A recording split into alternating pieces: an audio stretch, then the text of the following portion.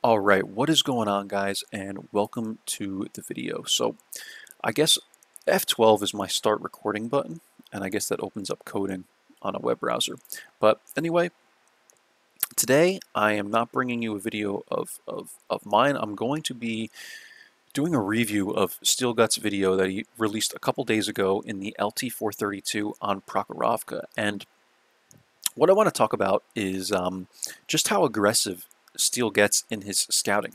I have learned so much from from watching this guy play, um, and to me, it's just incredible to see that even though I've learned so much from him, and we're both good light tankers, we still play very differently at times. And I want to show you kind of everything he does right in this video because there's very little that he does wrong in this game. And we all make mistakes, but he made you know, hardly any in this entire game. And he's very good with active scouting, right? Like, I don't do as much active scouting. I probably would have already been in that bush up there or went to like G1 or something like that because that's that's what I do. I like to passive scout and you know me, I have like 1200 battles in the even 90. I'm a passive scouter. It's what I know how to do. I know all the bushes. I know the areas to get to. I know how to how to you know set up the tank for it. I know when to stop passive scouting, when to move you know move up to the next bush or what have you, and then I know when to make those active scout runs. Steel likes to do a lot of active scouting, and the LT432 is made for it. It's pretty fast, and the turret is really it's like low profile, you know. Um, you really don't want to get hit in it because it gets lit on fire pretty easily, but he has the auto extinguisher on. So, but Steel does what I would never do, and he makes a pass going out like this into the field and back around. I don't like doing this. I think it's way too risky, but a lot of times it pays off. In this situation, it didn't. Um, I don't think he spotted much if if if anything. Um, but it's still very early in the game. And in in doing this and doing this pass right here, he's going to spot the Progetto 66 and the Ferdinand. Actually, I think the Ferdinand got lit by one of these guys. But when you spot someone up here, the thing is, you might look at one spot as like, oh, I only spotted one person, but it's little bit at a time, a little bit at a time, little bit at a time. When you spot one person and you have a tortoise, an AMX, another tortoise, and a Yag Jagdtiger back here, and even someone else, I can't see what the SU-130, you have all these tanks and you have heavies here that are all going to shoot at this guy. When you get spotted on Prok and you're sitting still over here in the woods, you are SOL. I'm telling you, even if you're heavily armored, you're going to get whacked because everyone can see you and everyone has shots on you. This map has no, hardly any um, like terrain differences, right? Um, it's it's it's it's completely flat over here, and you, you know you're going to get annihilated unless, of course, you're on this one little hill back here, which is like the only you know um, difference in in in level. There's like a hill on on the very edge here, and you can kind of use it to stay safe, which is basically what both of these guys are kind of doing. Um, the Ferdinand, it, more the Progetto 66. But anyway, my point being, when you spot someone on Prokhorovka and arguably Malinovka too, likely they're going to get annihilated because these are wide open maps, right? So now what he's going to do is go to this bush. I have actually learned this area from him and really him alone. I've never seen someone else use a, the bush like that. And you have to be very cautious of it. This is something that I, I noted in his video when I watched it, is I, and I, it might have been the same tank, right? I actually did this. I backed up into this bush and someone right here, I think it was like an AMX M4 or something like that, spotted me and I got annihilated. Like I had no chance. I was dead before Sixth Sense even went off. So that's that's a problem with this map is when you get lit, you have to stay moving 100% or you're going to like I said, you're just going to get absolutely destroyed. So you saw that he was paying attention to the where the bat chat was, and he went, I know I'm going to be spotted, and he backed down. That's his awareness. And you get very good at that when you play a light tank, like light tanks this much. You already know, I know this guy's within my spotting range. He's going to spot me. I need to move.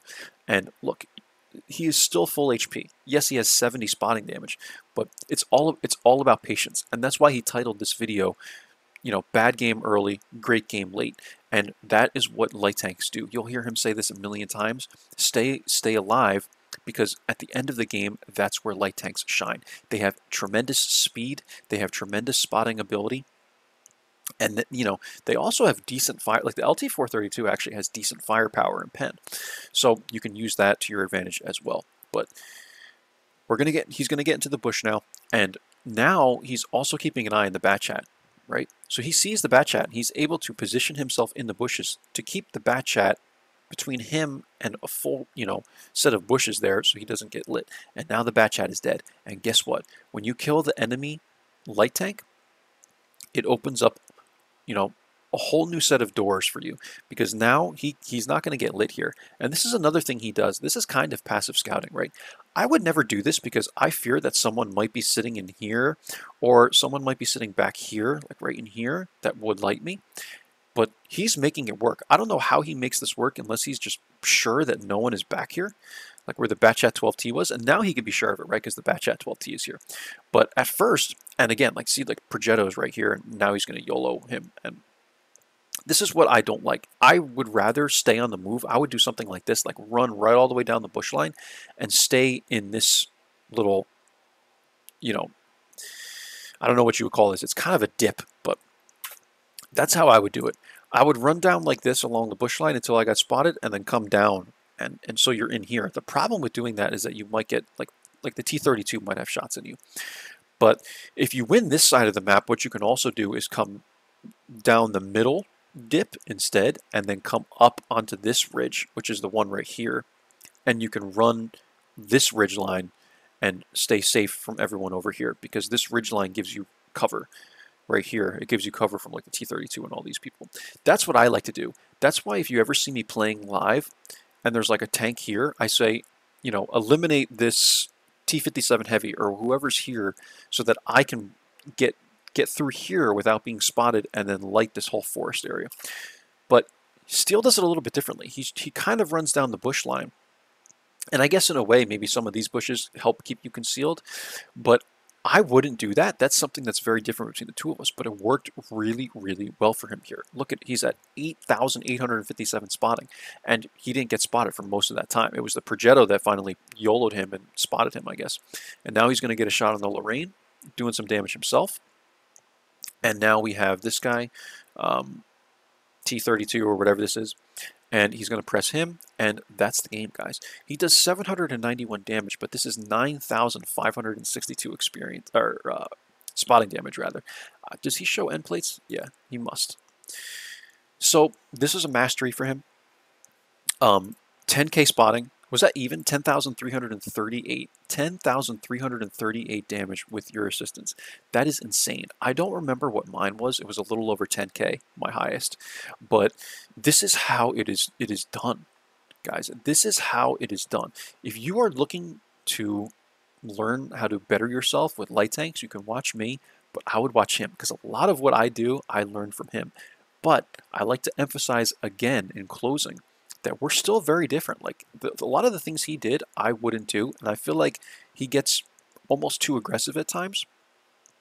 But sometimes different things work for different people, and different things work in different situations. Like if if I did what I did, I could have got whacked by that T32, for instance. But let's just say that you know there was a TD that was sitting near that T32. Um, that you know when he was coming, I'll do it this way. When he was coming through the bush line like this, you know, and the enemies are here. Well, maybe there was a TD over here, and had I done what I normally do, maybe I would have been kind of safe from that TD. Um, but he would have got hit. So sometimes different things work in, in, in situations that you think are the same, but in reality people are sitting in different areas and you know and that's just where the experience comes from. You have to know what works and what doesn't and Steel knows what works. He does what works. He plays so many light tanks. He has so much experience with it that I mean this is just another day right? This is just another game for him. 10k spotting easy peasy right guys? So hope you enjoyed this one. I know it's not a video of my own but um, you know this guy is my clan leader and you know I'm, I'm so glad that he is because like I said, it's it's just so cool to have my clan leader be the person that I almost look up to, like skill, right? Like it's it's just it's just cool to, to, to have that, and in a way, we represent skill. So, but these two guys, um, you know, I love all their videos, and you know, they're they're great people. And look, if you guys want to join the clan, we have room. Baboon too. So get in. Anyway, that's it, guys. Hope you enjoyed this one. I'll catch you for the next one. Take care of yourselves. Bye bye.